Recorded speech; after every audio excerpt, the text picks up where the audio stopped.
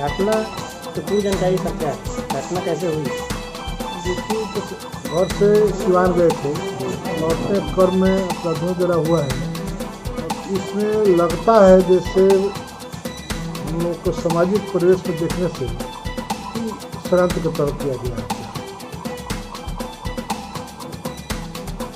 सुशासन बाबू सरकार चल रही है डबल इंजन का सरकार के बारे में क्या कहिएगा सरकार में यही रोज हो रहा है कि जहाँ हत्या हुआ मुखिया जी की लगभग सात हत्याएँ हो चुकी और ना प्रशासन के कुछ कर रहा है और सरकार तो क्लियर है।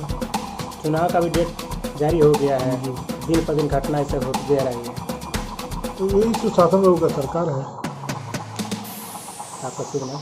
कामाख्या नारायण सिंह। पुलिस मुर्दाबाद। मुर्दाबाद मुर्दाबाद। बिहार पुलिस मुर्दाबाद। मुर्दाबाद मुर्दाबाद। नीतीश सरकार मुर्दाबाद। मुर्दाबाद मुर्दाबाद।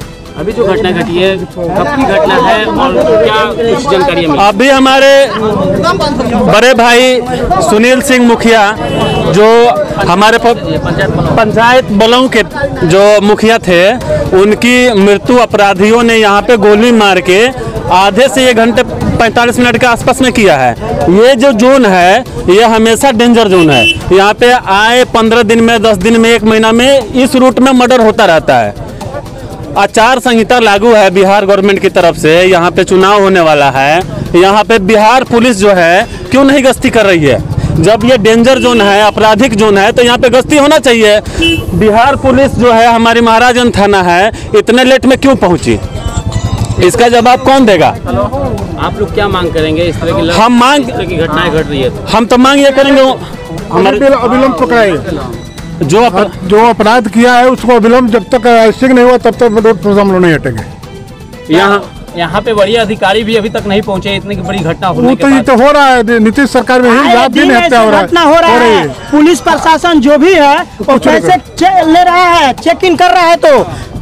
अगर एक भी अपराधी को पकड़ के ये दिखाए अपराधी अपराधी किस्म के लोगों को नहीं पकड़ा जाता है।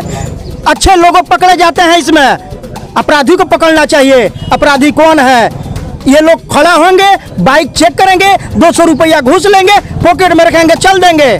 अपराधी की दलाली, दलाली। हर जगह दलाली यह पुलिस की दलाली है ये अभी- दलाली बंद करो। जब तक न्याय नहीं मिलेगा आप लोग क्या कीजिएगा? यहाँ से धरना देंगे यहाँ से नहीं हटेंगे शीतकालीन धरना होगा यहाँ पे। तक अपराधी पकड़ाएगा नहीं तब तक हम यही पर रोड पर रहेंगे। रोड पर रहेंगे हम लोग।